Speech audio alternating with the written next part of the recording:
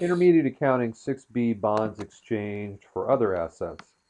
This is Ken Boyd, the owner of St. Louis Test Preparation. Here's our Facebook page, St. Louis Test Prep. This is taken from the Intermediate Accounting text with the authors here, the 10th edition, and it's chapter 7. Well, we talk in accounting about uh, exchanges that don't involve cash, and this is one of them.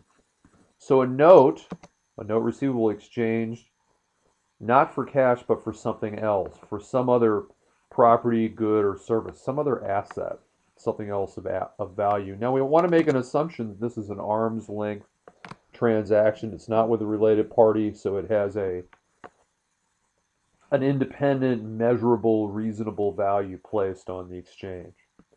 It's not a bargain purchase, in other words. There's no, if there's no stated interest rate, we're going to use the fair value for the present value of the note. Now, there are some more complicated uh, exceptions, but I'm going to do this one example since it's, the one that's most tested and used. So my example is Levi Jeans Company sells land, maybe they have land for a factory they no longer need, to Acme Manufacturing. They don't get cash, they get a five-year note that has a maturity value of 35 247. Levi bought the land for $14,000. They're selling it for $20,000, a $6,000 gain. So that the present value, which we just set up here as the fair market value of the land, would be $20,000.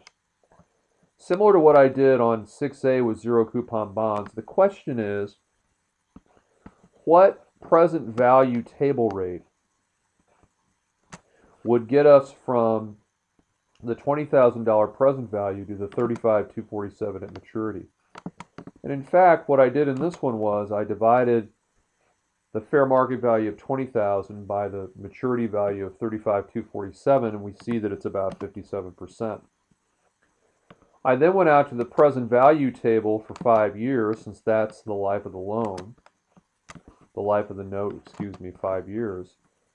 And the table said that 12% for five years was a 0.57 rate. So that's the rate we should use to get the maturity value, present value at back five years to get us back to $20,000.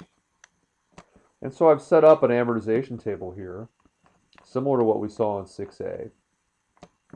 And I also mentioned that this is like the effective interest rate table, same sort of setup that's in my intermediate accounting 21 and 22 videos. So what happens is,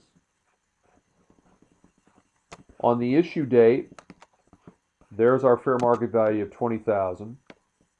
And remember that when we're amortizing a discount, we increase the carrying value up to par. And so here's what we do. We take, in year one, the original carrying amount times 12%. That is the interest revenue to the note receivable owner and the amortization that we dis that we the discount that we amortize.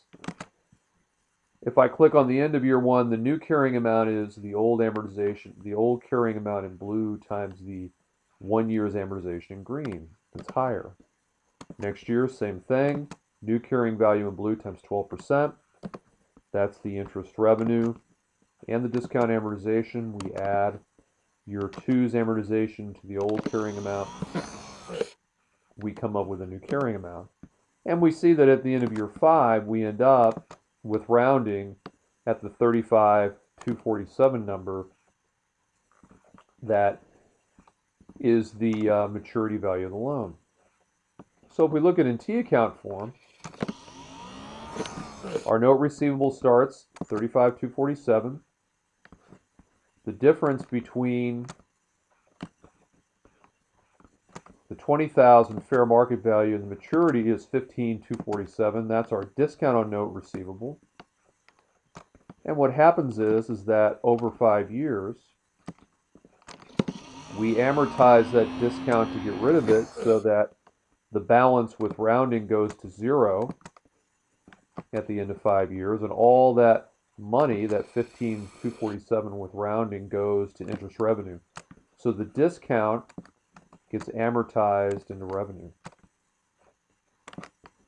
If you want to look at it in journal entry form, on the issue date, the owner of the note is going to recognize a receivable,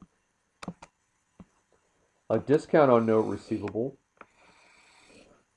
the cost of the land, that they're selling, because when we sell something, we take it off the books at cost, and then we also recognize a gain on sale, because in the exchange, we're exchanging that land at $20,000, not 14, so we're going to list the $14,000 land cost and a $6,000 sale. And so we have a balanced entry. And each year, we're going to debit the discount to get rid of it, and we're going to move that money into interest revenue.